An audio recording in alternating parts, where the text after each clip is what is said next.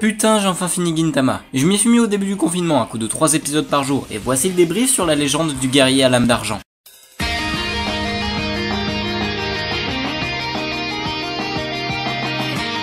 Gintama est un manga écrit et illustré par Hideaki Solachi. Le manga s'est fini en 2019 au bout de son 77e tome après s'être fait publier dans le Shonen Jump, aux côtés de Bleach, Naruto, One Piece et FMA. Le manga commence à être adapté en animé en 2005 par le studio Sunrise, puis par le studio Bandai Namco Pictures. Pour finir, l'animé contient 367 épisodes et deux films, et à vrai dire, on ne sait toujours pas si c'est fini ou pas, parce que les producteurs, autant que l'auteur du manga, aiment énormément troller à ce sujet. C'est petit rigolo. Et même si le second film propose une fin originale, on est sûr de rien. L'histoire se passe durant l'ère Edo, peu après une guerre opposant les samouraïs à des extraterrestres. La guerre s'étant mal passée pour les samouraïs, ils sont donc déchus dès que le Japon se fait coloniser. Dès lors, on a une futurisation assez radicale du décor, mêlant tradition japonaise et architecture extraterrestre futuriste. Et c'est très dépaysant. Malgré le déclin des samouraïs suite à la guerre, Sakata Gintoki décide de garder son sabre en bois, pour conserver son âme de samouraï. Ce guerrier aux cheveux décolorés se formera un groupe dans les premiers épisodes, composé de 4 membres. Lui, ça va sans dire, Shinpachi Shimura, une paire de lunettes sur un jeune samouraï, Kagura, une ado extraterrestre surpuissante, et enfin son petit chien, enfin, énorme chien nommé Sadaharu. C'est ainsi qu'en tant qu'homme à tout faire des dos, il se verront confier tout type de mission, dans la joie et la bonne humeur. Et nous voici maintenant partis pour l'analyse, qui sera sûrement bien remplie étant donné le bijou que représente Gintama, à la fois pour la Japanimation et pour mon petit cœur. Premièrement, soyons clairs, cet animé est à prendre avec un peu plus de légèreté que toutes les œuvres à rallonge du Shonen Jump. En effet, on est sur un shonen, certes, mais on est surtout la majeure partie du temps sur une comédie absurde et what the fuck. On pourrait s'attendre à un truc hyper dramatique et sérieux en se fiant à la guerre évoquée dans le synopsis, et ce n'est pas faux, puisque ça traite avec justesse de nombreux thèmes matures tels que l'addiction au jeu, les difficultés d'argent, les problèmes familiaux ou encore le deuil. Et ça l'est encore moins quand rien n'est tout noir ou tout blanc. Les actions des personnages ne reflètent pas forcément leurs propos et ils ont tous des psychologies complexes. Mais malgré ça, la forme que prend réellement l'univers de Gintama est complètement absurde, notamment parce que ça n'a aucun sens. Pour rappel, on est dans un passé alternatif, à l'ère des samouraïs avec des technologies futuristes et des extraterrestres. C'est un mélange de genres très bien foutu entre aventure, comique, drame, what the fuck et combat dantesque, qui mériterait un peu plus l'attention du grand public. Gintama est une œuvre principalement épisodique, c'est-à-dire que les trois quarts du temps, chaque intrigue se passe sur un voire deux épisodes pas plus. Il y a donc énormément de fillers, donc des épisodes originaux, ne venant pas du manga. Et là où ça pourrait poser problème, pour Gintama ça ne dérange pas, car premièrement le format y est adapté, et deuxièmement parce que les fillers sont tout aussi bien que les épisodes normaux, et représentent à la perfection l'univers de Gintama. Je pense par exemple à un épisode en plan fixe, où le quatrième mur est brisé, où les personnages passent leur temps à cracher sur la production, ou encore au trailer des faux films Gintama. Tout ça pour dire qu'au début on a une énorme accumulation d'épisodes indépendants, beaucoup plus centrés sur le comique. Mais il y a certains arcs narratifs avec des enjeux beaucoup plus dramatiques et neketsuesques qui commenceront à apparaître à partir des épisodes 60. L'œuvre s'ouvre à d'autres opportunités qu'une simple rigolade pour proposer des arcs shonen vachement stylés où on apprendra à mieux connaître tous les personnages dans leurs mésaventures mais aussi et surtout le passé de Gintoki qui nous est teasé depuis le début de l'animé. D'ailleurs, parlons-en de Gintoki avant de parler des aspects plus techniques et du comique. Premièrement, il faut savoir qu'il est inspiré d'un personnage du folklore japonais dénommé Kintaro, qui veut dire l'enfant doré, qui changera de nom quand il deviendra samouraï pour Sakata no Kintoki. Et en plus du parallèle entre Kin de Sakata no Kintoki qui veut dire or et Gin de Sakata Gintoki qui veut dire argent, il y a un jeu de mots encore plus ridicule. Le titre de l'animé, Gintama, fait référence au nom du héros Gintoki, mais si le héros avait porté son originel, à savoir Kintoki, le titre de l'animé aurait été Kintama, qui veut dire testicule. Et ouais, tout ça pour ça. Outre cette vanne, je pense que Gintoki est le seul personnage principal de shonen à être aussi naze. L'animé parodie absolument tout et même le concept de héros de shonen. On ne sait rien de lui, si ce n'est qu'il a participé à la guerre et qu'il se bat avec un sabre en bois. C'est un branleur de première qui préfère rester chez lui à lire le shonen jump plutôt que de faire avancer le scénario. Il est constamment sur la paille quand il s'agit de payer son loyer, et pour cause il dépense tout son argent dans les courses de chevaux et dans les bars à hôtesse. Il ne respecte aucune bonne manière, genre il n'emploie jamais de suffixe honorifique. Le seul qu'il emploie c'est Chan pour se foutre de la gueule de son interlocuteur. Et même quand le moment est important, il se cure le nez ou l'oreille au choix avec son allure désinvolte. Mais malgré tout, et c'est ça qui fait la force de ce personnage, c'est qu'il a un excellent sens de l'honneur et qu'il est prêt à protéger n'importe lequel de ses proches sans rien dire. Et c'est la seule chose qui le rapproche de son statut de héros. Et peu importe la situation, il ira seul, non pas par égocentrisme, mais bel et bien par bravoure. Il ne veut surtout pas que ses proches soient blessés, et rien que ce contraste, un peu à la Onizuka si je peux me permettre, le fait rentrer dans la catégorie des héros dits badass. Bref, c'est un personnage très intéressant à suivre puisqu'il ne suit aucun des codes et qu'il est très ambigu, d'autant plus que c'est un personnage hyper drôle. Sinon, repassons à des choses plus générales sur l'animé, voulez-vous? Je m'en branle hein, que vous le voulez ou non, hein. c'était juste une formulation de phrase.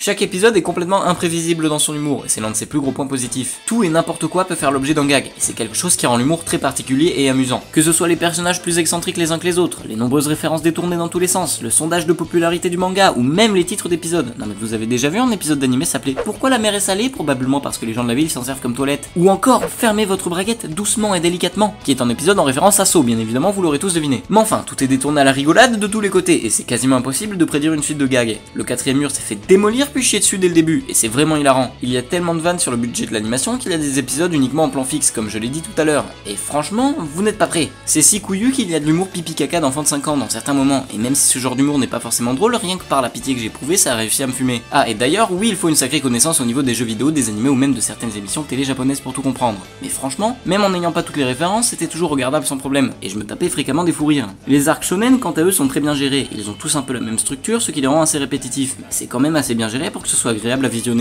Il y a de vrais enjeux qui sont respectés, et surtout le développement des personnages est utile, donc c'est clairement mieux géré que ces merdes de Fairy Tail ou de SAO. Et ouais, je tacle parce que ça me les brise qu'ils aient beaucoup plus de visibilité que Gintama. À part ça, niveau technique, l'animé avait très peu de budget à ses débuts, d'où la qualité d'animation et les car design assez laids. Cependant, petit à petit, ça va devenir beaucoup plus propre, pour passer au final au format 16 9 vers l'épisode 200, soit au début de la saison 5. Ça a mis du temps, certes, mais pour un anime fleuve ayant commencé en 2004, ça va. Après, comme je l'ai dit, ça sert de prétexte pour des vannes, du coup ça passe crème. En revanche, si un truc que je regrette avec cet animé, ce sont les openings. Sur les 21, il y en a qu'un seul qui m'a marqué, c'est bien évidemment le 13, celui que j'ai mis en début de vidéo. C'est celui-là qui pour moi a marqué le moment où j'ai commencé à réellement apprécier l'œuvre. Tout a évolué d'encore un cran à ce moment-là, et cet opening le démontre bien. En revanche, tous les openings collent avec l'animé, hein. c'est juste qu'ils ne sont pas mémorables. Après, les endings sont pareils, hein. excepté Some Like It Hot, sur lequel je prends mon pied quand même. Sinon, les OST sont les mêmes tout du long. Ok, y a pas de changement au fil du temps, mais ça pose encore mieux l'univers, donc ça passe crème. À part ça, vous l'attendiez tous, le plus grand défaut, mais à la fois la plus grande qualité de Gintama, son étalement. Gintama, c'est un peu comme une petite fille. On a du mal à rentrer, mais une fois qu'on est dedans, beaucoup de gens ont abandonné durant les premiers épisodes, et je ne dirai rien parce que je l'ai moi-même fait. L'humour est tellement spécial que c'est très dur de s'y mettre, surtout quand la qualité d'animation n'aide pas du tout. Le style de l'animé est tellement différent de ce qu'on a l'habitude de voir, et en plus de ça, l'univers est hyper vaste. Le format épisodique n'aide pas lui non plus. Cependant, c'est ça qui fait de Gintama ce que c'est. Perso, j'ai commencé à rigoler à partir de l'épisode 25, qui est assez couillu puisqu'il se passe en huis clos autour d'une table, et pendant tout l'épisode, on voit les gens se battre pour manger de la viande. C'est là que j'ai eu le déclic. Si vous voulez vous mettre à Gintama, accrochez-vous, parce que ça risque d'être long avant que vous kiffiez. Après, vous allez me dire, vous auriez pu sauter les épisodes inintéressants. Mais en fait, pas du tout. Si vous le faites, vous gâcheriez l'intégralité de votre visionnage. Parce que le début de l'œuvre nous apprend à connaître les nombreux personnages, et peut-être qu'au début on ne s'attache pas et on ne les trouve pas spécialement drôles, mais si vous réussissez à regarder l'anime en entier, croyez-moi, vous allez tous les adorer, autant pour leur vanne et leur mimiques récurrentes que pour leur histoire triste et ou classe. On a l'impression d'être accueilli dans une sorte de grande famille, et franchement c'est hyper cool. Bref, vous n'avez pas le droit de sauter les épisodes pour aller directement vers les arcs sérieux, car ce serait clairement chier sur ce qu'est.